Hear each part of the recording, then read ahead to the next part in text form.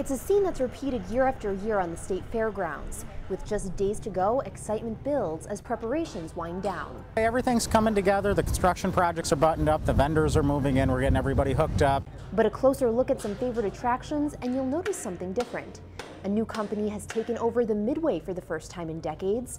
Wade Shows is bringing more than 60 rides to the fair, including two of the three tallest traveling coasters and the largest traveling slide in the U.S. We're real excited about our lineup. All of our concessions are color coded.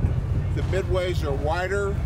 We've got rides that have never been here before. Officials say a goal of the fair, as always, is to get people better acquainted with the state's agriculture.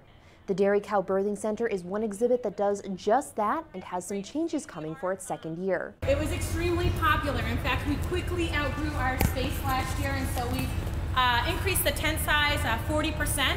We've doubled the seating capacity in here to 700 people we can accommodate sitting down. Another old favorite, Safety Town, got a makeover with updated interactive displays to teach families about fire safety.